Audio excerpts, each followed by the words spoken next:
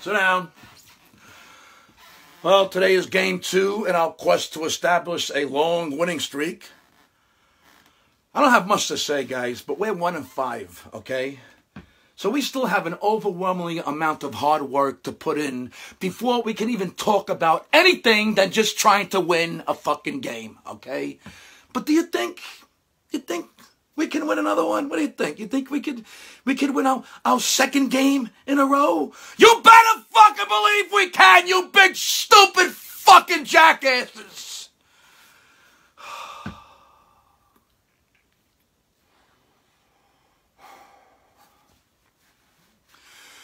We carved together an offensive line last week that did a nice job. And I have to say, Fluker, you were very aggressive with your run blocking between Darkwa and running and Sullivan shaking up the play calling, okay?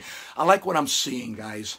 Let's try to establish the run against the Seahawks, okay?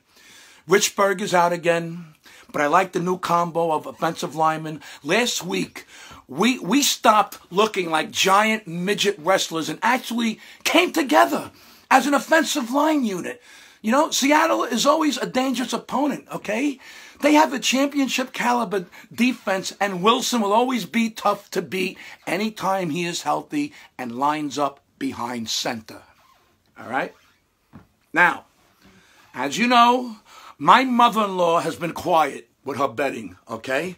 So she calls me this morning. She says, Hey, Stunat, uh, can you pick up uh, me uh, some things from the store, okay? And, and then she said, Oh, and uh, by the way, uh, you take the under 41 uh, Giants today, okay? So she will go to mybookie.ag, put in the promo code capital VIC, and take the Giants under 41, okay? She and my wife, gentlemen, are a combined for 16 and 4 betting. So, what, what do you want from me? Bet. You want to bet? Bet. You don't want to bet? Don't bet. Whatever.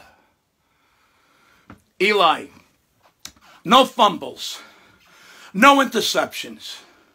When you when you don't do that, do you see what happens, Eli? Okay? And keep keep working with Engram, okay? A productive tight end has always been a big part of the Giants' success in the past. Let's run hard and pass smart, okay? And I, I hate pussy fucking milestones. But if Eli throws for 320 yards, he passes 50,000 for his career. Okay? Okay, great, Eli. Look, I know that's a great accomplishment, but I really don't give a fucking rat's ass about it. My job is to win, not help players reach arbitrary career stats. So Eli, I hope you do get the 320, but I want the win. Gabish! Rodgers Cromartie is back. JPP, keep up that level of play. The defense needs to have another solid game to give us a chance.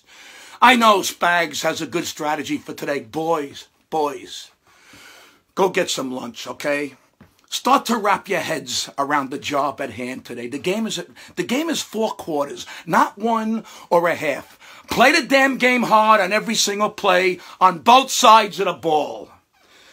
That's how we will dig ourselves out of this shit infested hole we've dug for ourselves. Play hard, think, work. Let's see what happens when the smoke clears. Go get 'em, Big Blue.